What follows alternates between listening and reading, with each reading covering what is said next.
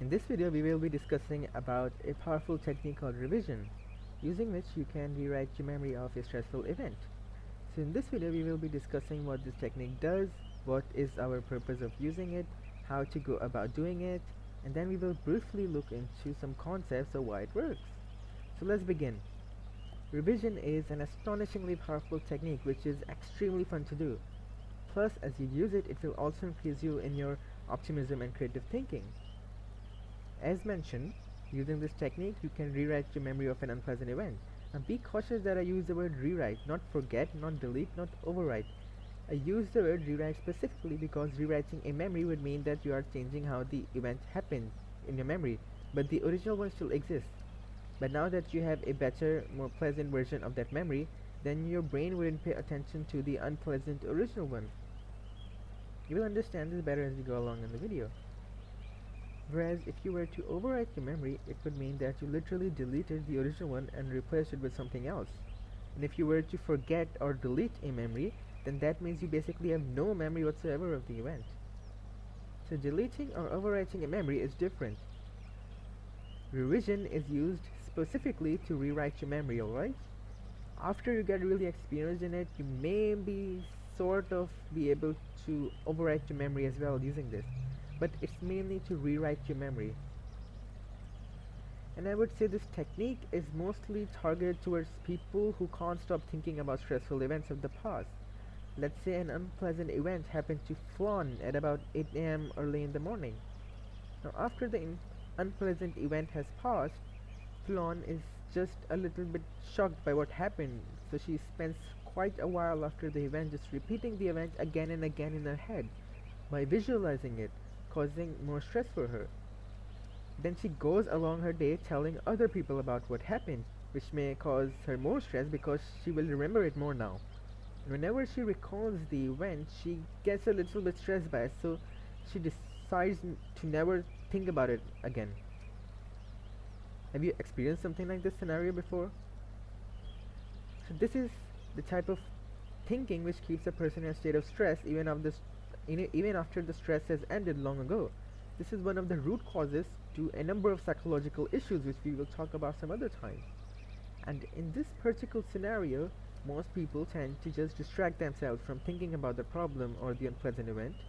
But I believe revision is a better and more fun way to deal with this rather than distracting yourself by watching television or listening to mu music meaninglessly or taking alcohol etc. After learning about revision and applying it for a while, Unlike Fionn here, you would actually laugh and smile uncontrollably after recalling an unpleasant event. Trust me. And that's because using revision, we are going to rewrite an unpleasant event into an into a pleasant one. So let's get down to how you can rewrite your memory of a of an unpleasant event. I mean, it's very simple actually. Let's say a very unpleasant and stressful event happened to you or occurred in your life, and you can't stop thinking about it and the more you think about it the more stressed out you get. So to rewrite it to rewrite your memory of that event you just have to relive the event in your head as if it's literally happening again. Then while reliving it you just remove everything you find stressful in it and replace it with something positive and funny. I hope this makes sense. So let me repeat. To rewrite a memory of an unpleasant event relive it. Relive it. Visualize as if it's happening again. See what you saw hear what you heard and feel what you felt. And then remove everything stressful that happened in it and replace those stressful moments with something joyous something joyful. Well visualizing the revised event be sure to be as much illogical about it as you can. I mean you can even use imaginary characters in it. You can bring in unicorns, bring in Naruto or Goku or Sherlock Holmes or Shah Rukh Khan in between the event and make them do something funny or hilarious. The premise of all of this being that you have to be as illogical as you can while reliving the event. Because the more illogical the visualization would be, the more shocking and the more striking it would appear to your brain. The more shocking and the more striking it is, the more easier it would be to remember it if the revised event is easier to recall than the actual original event, then whenever your brain tries to recall the original event, automatically you start thinking about the revised event, causing you to smile a little, causing you to relax, and then when you look at the actual original event, you won't feel stress anymore. I hope this makes sense. You would understand understand this much much better when you practically apply it a couple of times. So the reason this technique or mental technology works is on the basis of two concepts, and understanding them would enhance the practicality of it. So I request you to concentrate on what I'm about to say and bear with me a little. Number one, revision works on the concept that our brain, or more specifically, the system of our five senses, the nervous system, cannot differ from the images we see in front of us or the images we see in our head. Let me rephrase that. Our senses do not know the difference between reality and imagination because our senses react the same with both of them. The best example would be that if you picture a favorite dish and its complete deliciousness in front of you when you're when you're feeling really really hungry, your mouth starts to water as if the food is really there. Another example would be that if we have any sort of sexual thought in our head, it makes our heart race and makes us a little, little excited.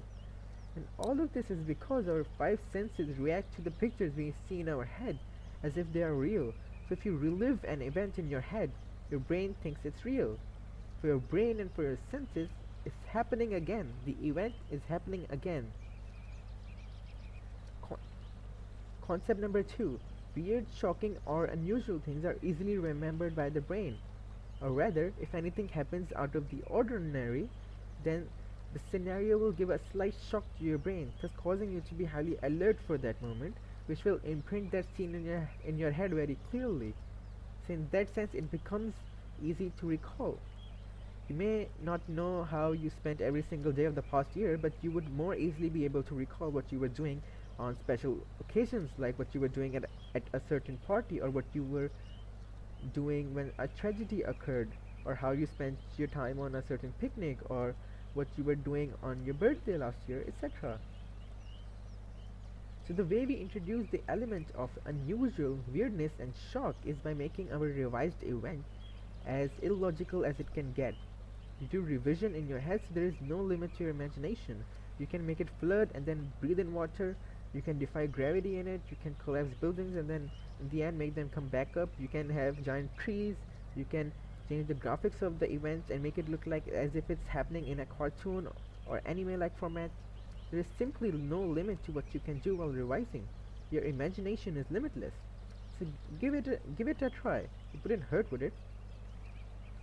So let's come to the end of the video and summarize what we have learned. In this video we discussed about what revision is which is a technique which we can use to rewrite our memory. We discussed about how we can go about doing it, that is reliving the event and removing everything unpleasant from it. And we discussed briefly about why it works, which is on the basis of two concepts.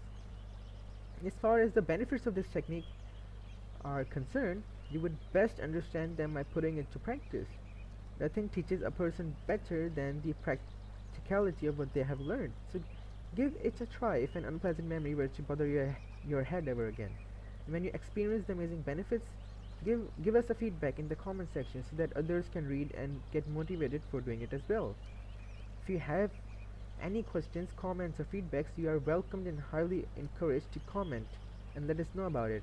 If you like what we presented in this video and would like more of such videos, then be sure to give this video a thumbs up and support us by subscribing to our channel. Thank you very very much for watching and see you later folks.